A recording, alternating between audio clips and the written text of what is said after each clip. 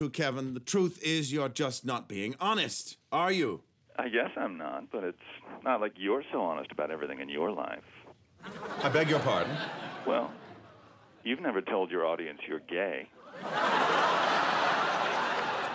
Excuse me? I saw you in a gay bar last night. Oh, oh I see. yes. In fact, I did pop into Bad Billy's yesterday.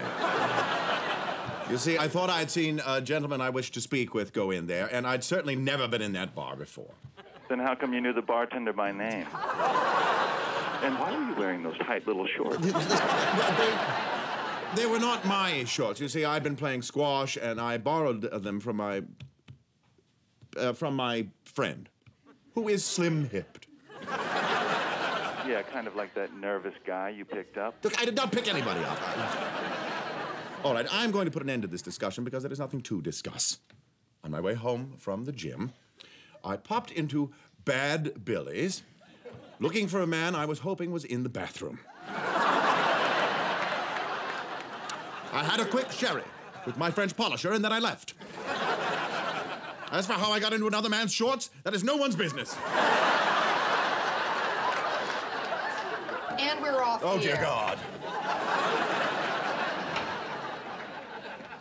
That man you thought you saw going into Bad Billy's, that wouldn't be Barry, would it? All right, Roz. I, I saw him on the street, and I turned, and the next thing I knew, he was gone. I thought he was. uh, Yeah, you know what Barry was doing from 10 o'clock until midnight last What? night? Me, that's what.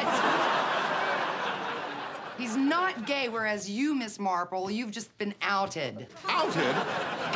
Frasier.